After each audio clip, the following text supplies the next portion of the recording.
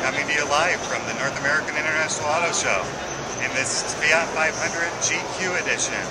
Uh, obviously a Cabrio, uh, it's an Abarth, all dressed up for the guys.